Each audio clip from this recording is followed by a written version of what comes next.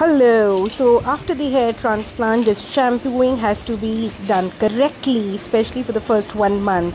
Like how it's done for children, soapy water in a bowl, and how it's put gently. Kahin pe dust dikhe where you can see the dust, you touch it. Uh, the person who's helping you touches, otherwise doesn't touch. When he's putting the shampoo water, even you can shake your head slightly.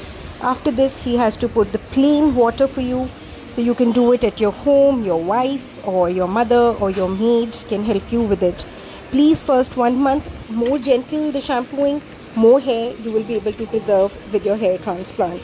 Best wishes, we're always there for any doubts and after hair transplant take good care and first 6 months try and use bucket. Yes, not shower so that the pressure of the shower water is not there on the budding hair follicles.